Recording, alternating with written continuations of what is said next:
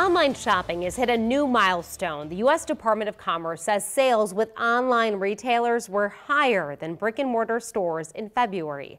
Borsheims has adjusted its business plan and found that more customers are strictly shopping online. Our reporter Alex McClune is live at Regency Court with more. Alex? Well, most of Borsheims customers used to shop for things like rings and watches online. Then they'd come into the store to buy those things. But now the jeweler's finding that more and more customers are just clicking and buying all online, and that's a trend they're trying to cater to.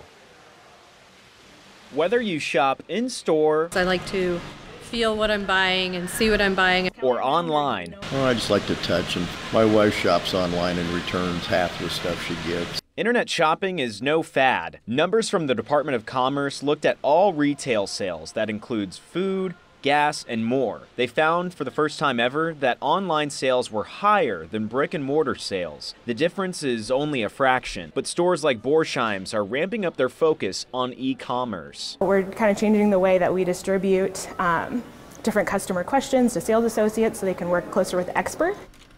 Liz Stevens is Borsheims e-commerce sales coordinator, a position created after the company honed in on what she calls the omni-channel sales culture. I moved downstairs to the sales floor.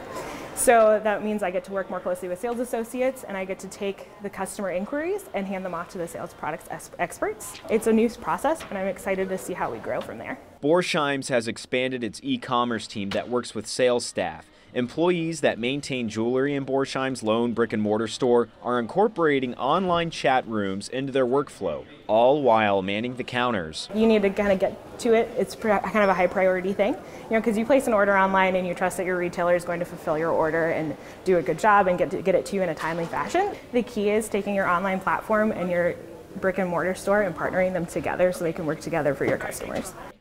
Is it a standard ship? The company says it will continue to enhance its e-commerce as it heads into its 150th anniversary of business next year. Reporting live at Regency Court, Alex McClune, 3 News Now.